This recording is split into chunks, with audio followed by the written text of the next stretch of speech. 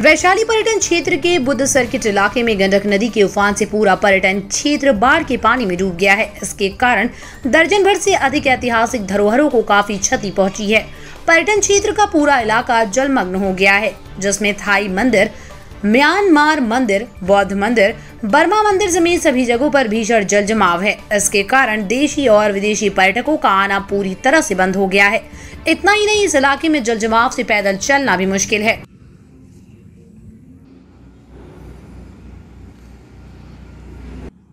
सब इसमें